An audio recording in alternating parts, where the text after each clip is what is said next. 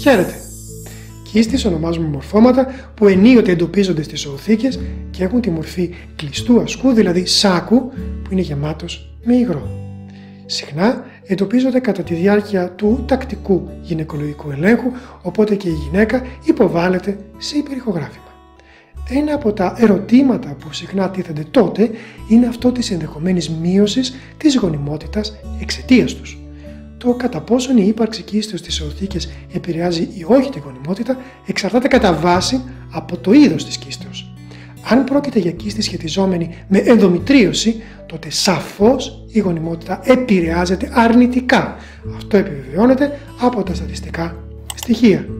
Ποσοστό από 25 έως 50% των υπογονίμων γυναικών έχουν ενδομητρίωση. Αντίστοιχα, το 30 με 50% των γυναικών με διαγνωσμένη ενδομητρίωση είναι υπογονίμες. Αν τώρα η παρουσία οθικικής κίστης σχετίζεται με το σύνδρομο πολυκυστικών οθικών και τότε η γονιμότητα της γυναίκας είναι κατά κανόνα ελαττωμένη. Το σύνδρομο πολυκυστικών οθικών εξορισμού σχετίζεται με άνοοθυλακιορυξία, δηλαδή με εντός εισαγωγικών δυσκολία των οθικών να παράγουν οάρια.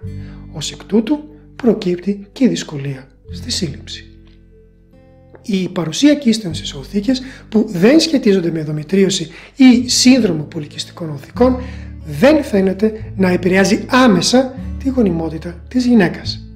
Η λέξη κλειδί στην ανωτεροπρόταση είναι το άμεσα.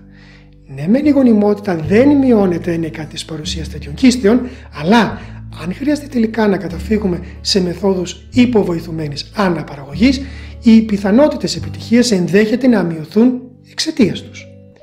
Στην περίπτωση ενδομητρίωσης, η αφαίρεση της κίστεως φαίνεται πως βελτιώνει τις πιθανότητες για σύλληψη.